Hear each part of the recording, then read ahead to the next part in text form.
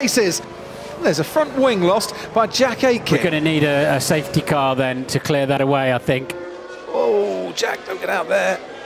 Um, safety car's been deployed. Yeah, they have to. I, I can't. I can't see a gap. I can't see a gap in the way the cars are distributed around the track. And they're stacked up. They're double stacking at Mercedes. The front right tyre uh, was slow for George Russell. And for Valtteri Bottas, even more confusion uh, for a crew that are normally uh, very, oh, they're not very happy adept. with the left front. They're not happy with it with his left front.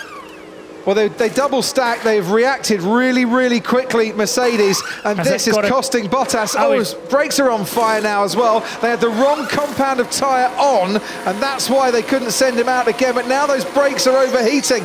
He has lost track position to Sergio Perez. He's gone from second to fifth while all that was happening. Okay, George, we're going to need to box box. We have a mixed tyre set on the car. Basically, what's happened is they've got they've got some of Bottas's tyres on, or indeed all of Bottas's tyres on.